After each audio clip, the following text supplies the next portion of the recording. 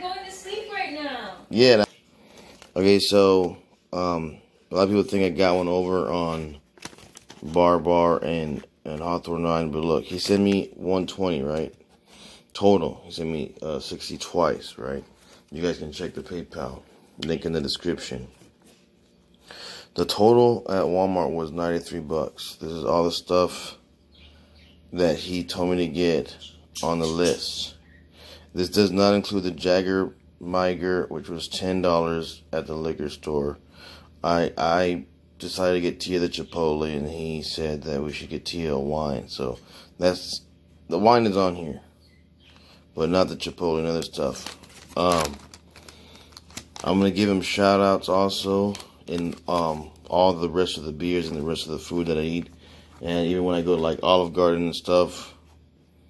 Like I think I'm going to, to tomorrow.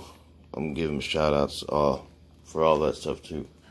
And uh, there's a lot of food left today. I'm going to give him shout outs for all the food.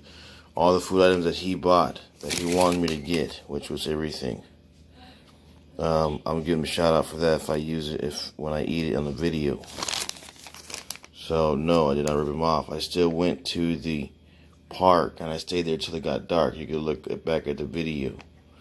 You know, I started at 11 a.m. and I didn't finish till it got dark. And I'm still gonna be making a bunch of shout out videos and stuff. All this stuff is what he want. I, I don't have any money. I only have like ten dollars left from all the 120.